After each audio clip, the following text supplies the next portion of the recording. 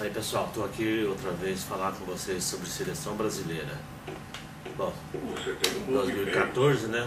Ano da Copa do Mundo monopoliza as atenções.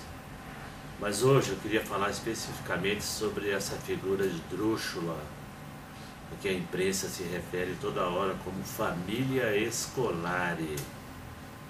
O que é isso, família escolar? Parece coisa da máfia dos anos 50, anos 40. Quer dizer, que o treinador assume um compromisso com aqueles que ele escolhe de antemão e, e, e vai até o, para o que der e vier. Não, futebol moderno não é isso aí. Futebol moderno tem estratégias. Isso parece até aquela história lá dos 300 de Esparta que, que os espartanos venceram os persas aí na história antiga. Mas ali era outro contexto. O futebol tem regras rígidas.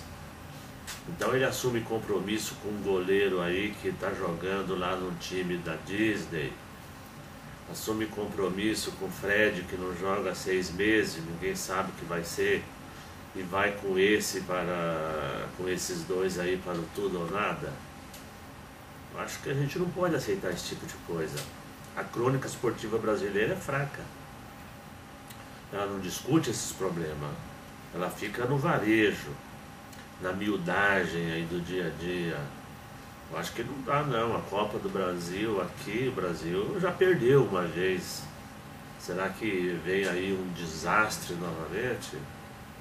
E se vier, tem causa definida. Família escolar, o que é isso? Convoca os melhores jogadores. Tem times fortíssimos aí, Alemanha, Argentina, Espanha, Holanda. Tem nada de família. Vamos parar com isso, pô. Isso é uma brincadeira, de mau gosto ainda. Falou?